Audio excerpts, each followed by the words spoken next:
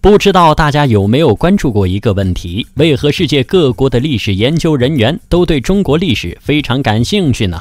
如果按照作者的角度来看，主要原因是因为中国王朝在几千年的时间里，如同走马观花一般的换来换去。相比较而言，西方国家的历史可观性真不大，基本都是一个贵族不断开枝散叶，而达官显贵也都是这个家族中的成员。今天为大家解答一个疑惑。为何欧洲的王室上千年不变，而中国王朝却更换频繁呢？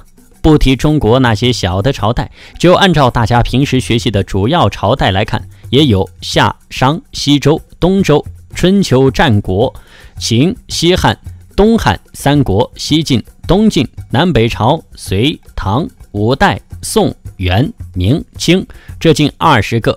追溯历史来看。基本没有几个朝代做过三百年以上时间的，这是为啥呢？其实和欧洲国家相比，中国的体制一直和西方有着明显的区别。第一点，国家发展不同。不知道大家有没有发现，中国自古以来，皇家和人民就紧密相连，皇家富裕，人民也富裕；人民收成好，自然皇家也富裕。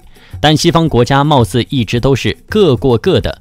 人民是人民的生活，贵族是贵族的生活，只不过贵族是这个国家的代表而已。所以从根本上讲，这两方基本没有交集。而中国却大不相同，一旦皇室没落，人民一定会饿肚子，起兵就是必然的事情。